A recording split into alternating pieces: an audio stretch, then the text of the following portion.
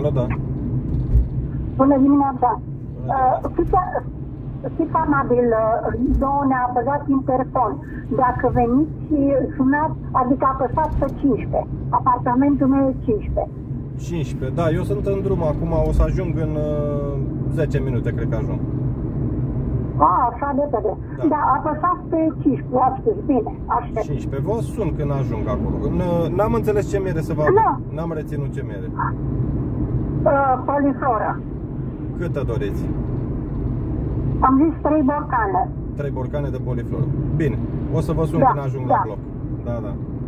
Da, bine, mersi. Și eu mulțumesc. Man, să sune telefonul așa toată ziua. Ce toată ziua, mă, măcar de două ori atât. O dată a sunat, dar nu, a doua oară nu mai sună. Foarte rar când se întâmplă treaba asta. Parcă scara asta va fi. Ia să vedem. Telefon 15.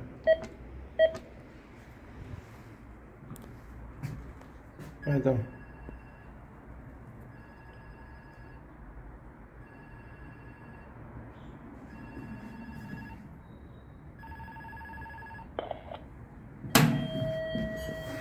Gata.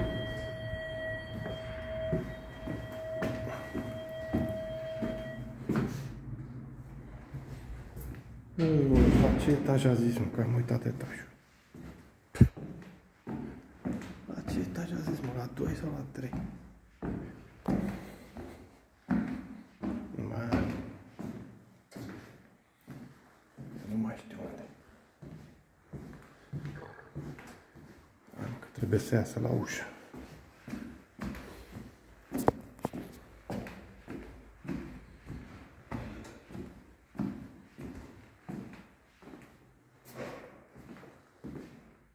Mai sus.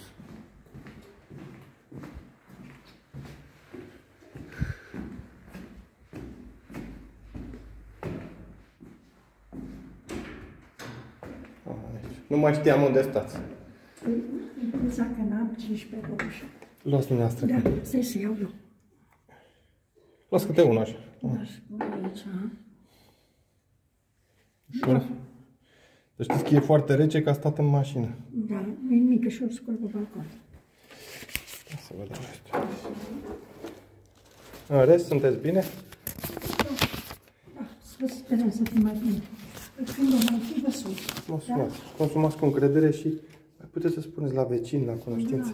mai spus. Da, n-au bani. N-au bani. Sunt de la acasă. Dacă e vrea câte un borcan sau... Și acum dau un borcan de profesoară. Am Dar înțeles. am spus, să știți, am Bine, anunțat. mulțumesc și mult. am dat și a gustat. Da. Adică a venit la mine Da, da, da. și a dat la mine, asta e. Bine, mulțumesc, la revedere. La revedere.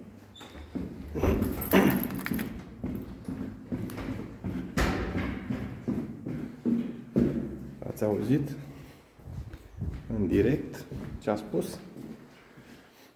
Că nu au bani. Asta a spus. Adică a recomandat și la alte cunoștințe și răspunsul este nu au bani.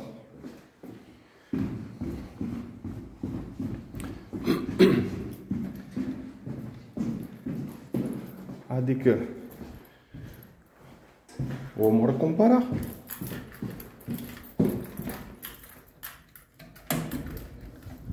Deci ar cumpăra miere. Dar dacă nu are bani, cum să cumpere? Vedeți cât de simplu e? Din cauza asta, deci nu cumpără miere, că nu are bani. Asta e problema cea mai mare. Banii, tati. Și dacă stau să mă gândesc bine, aici la persoana asta care aduc, o femeie în vârstă, bătrân. Uh, nu mi-a recomandat până acum niciun client. Din partea ei nu, nu cred că mi-a venit niciun client. Sau poate nu mai mi-aduc eu aminte. Da, cam așa merge vânzarea.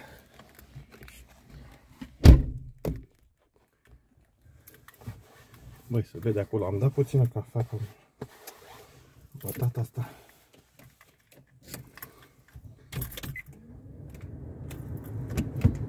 E, ăsta e avantajul mare care vi l-am spus de când am uh, luat mașina asta.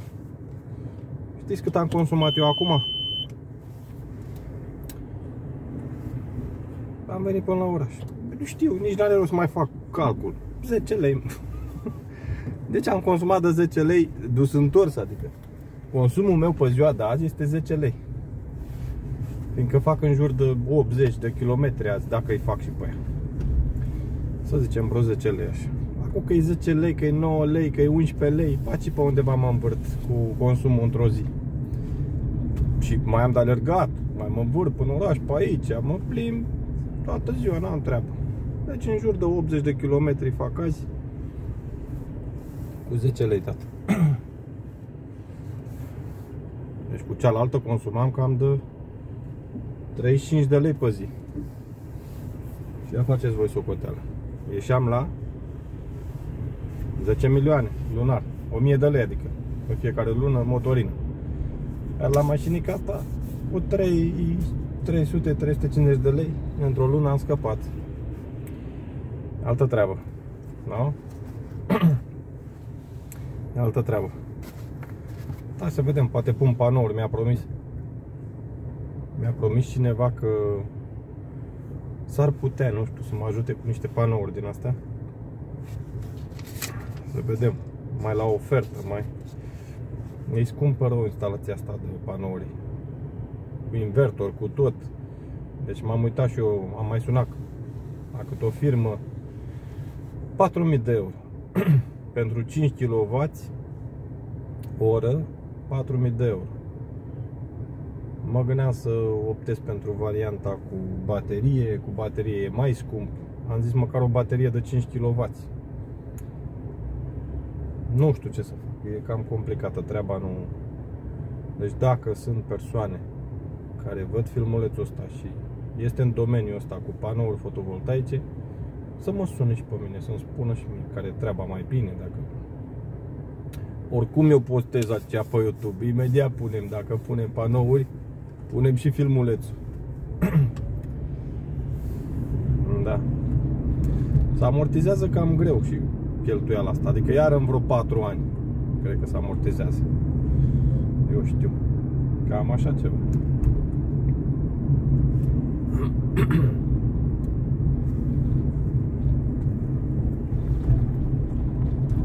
Bun, cam atât. Da, să dau bluza asta jos că așa că am încălzit.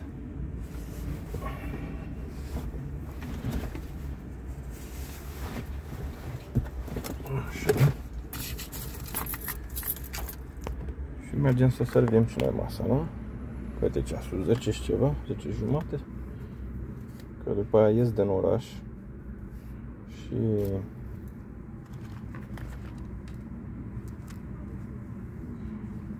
Nu mai am unde să servesc masa. Așa. Ia uite mă, ia uitați-vă aici. Am parcare rezervată, tată. Uite aici unde arată ștecherul. Uite aici unde arată ștecherul de băgat în priză. Da, nu bag la încărcat. Știu că nu prea e ok, fiindcă ocup parcarea, dar nu-i nimeni. Dacă vine cineva aici, da, eu mă întorc repede. Avem parcare rezervată, bă, tată, noi ăștia cu curentul, treaba bună.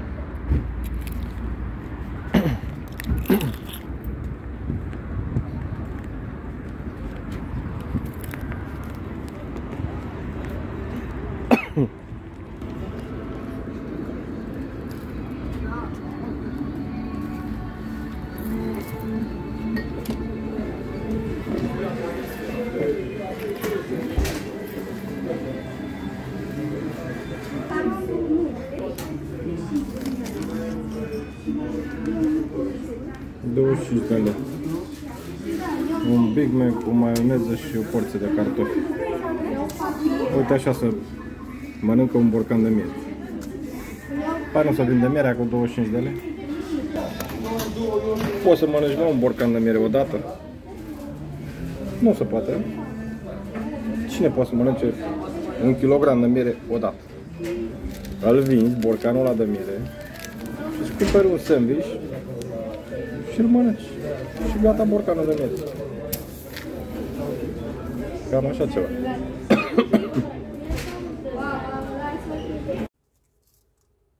Am primit un plic.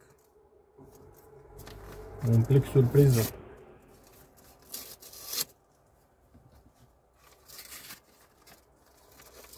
Ia să vedem ce e aici.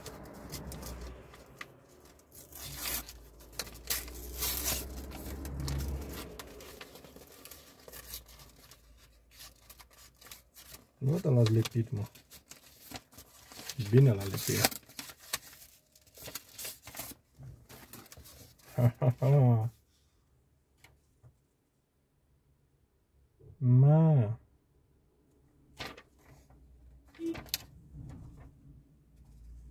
Deci. Punem mâna pe adresa aici. Hai că vă arătă. Ia uitați-vă aici. 74 Eco, autoturism Dacia Spring.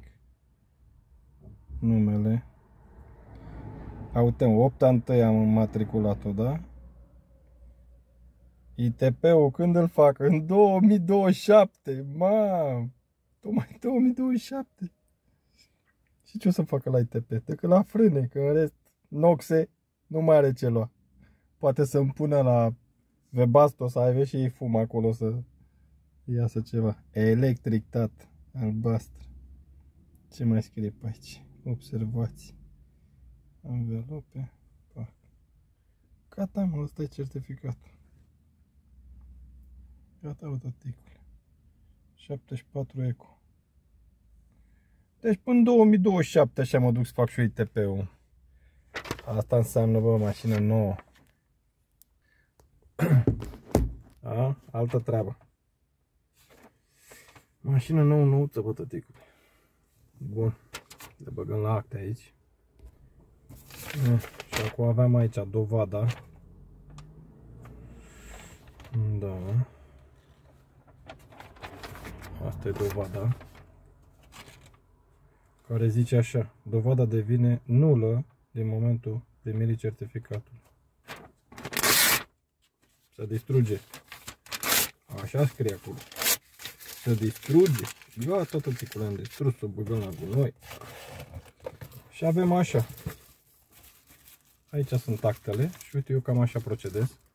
Ah, se vede invers. Stați, stați și să vă arăt. Uite așa îmi scriu eu la fiecare mașină. Dacia Spring 2024.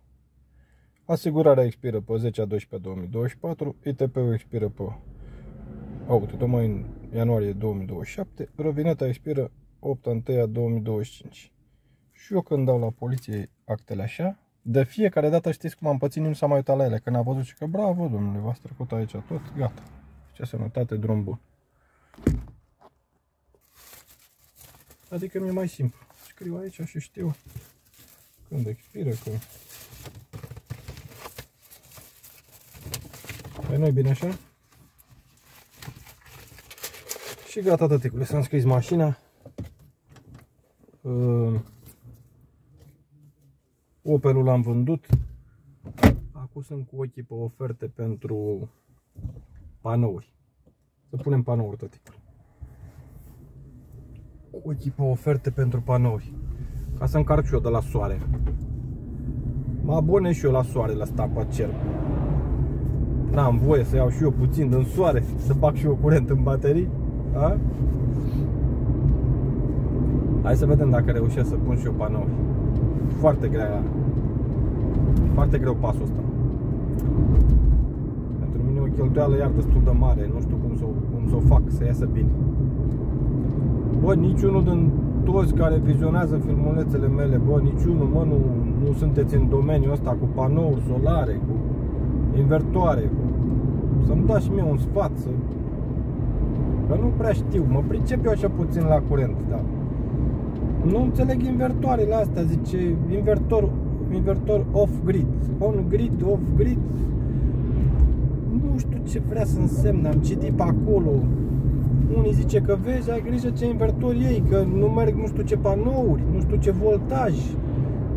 Sunt multe tipuri de invertoare din astea, să nu iau vreunul să nu fie bun. Dacă am sunat la niște firme din astea care se ocupă, își cere prețul dublu. Deci atenție. Internetul, na, îl avem toți în mână acum. Cauți panoul și vezi acolo cam 100 de euro, să zicem, cu aproximație panou de 450-500 de W. Mă, hai că pun 10 panouri, da, 5 kW. De 10 panouri și cu un invertor din ăla vreo 4000 de lei, zi, în total vreo 2000 de euro. Hai că mai trebuie niște cabluri pe acolo, o siguranță, 2, 3, un contor, un nu știu ce mai pui pe acolo încă vreo 400 de euro. Deci un sistem de 5 kW, dacă le iei separat așa, invertor, panouri și conductori aia, așa, mufele alea de ce mai e pe acolo, cu vreo 2400 de euro le cumperi toate. Și după aia mai intervine montajul care zice că e destul de simplu să mufezi panouri de alea pe acolo. Într-o zi, două le montez acum. Dacă sunt la o firmă, își cere 4.000-5.000 de euro pe ceea ce v-am spus eu mai devreme. Fiindcă le iei de la o firmă și bineînțeles vine și ți le montează.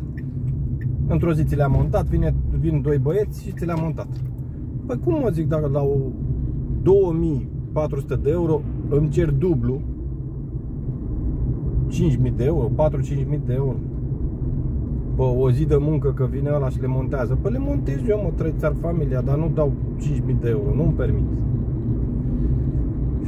Da, dacă aveți idei, dați-mi și mie niște idei să văd și eu cum fac. Uite, soarele pe cer. Soarele e sus pe cer. Să-mi bage și mie curent pentru mașinica asta. Aș lua o baterie. Și bateriile astea sunt foarte scumpe. Pe litium, parcă 10 kW, 2000 de euro. 10 kW 2000 de euro. Mi-ar fi bun, cam 10 kW mi-ar trebui, că eu cam așa consum. Un maxim 10 kW pe zi. Și dacă aș băga în baterie 10 kW Când vin acasă, chiar dacă nu mai e soare Bag în bateria aia, transfer în asta. Da, care aveți idei, dați-mi și mie niște idei Dacă sunteți vreunul. în domeniul ăsta. Mă puteți suna? 0724 824 783 Mulțumesc și aștept ajutorul vostru. Cu un sfat. Aștept ajutorul cu un sfat. Sănătate și numai bine. Te pun mă pe tine, pun mâncarea, uite. Mamă, ce e aici mă ciolanul ăsta mare? Păi poți să tai din el mai. N-am curat să mănânc așa. Uite, Doamne, Andreea, mă...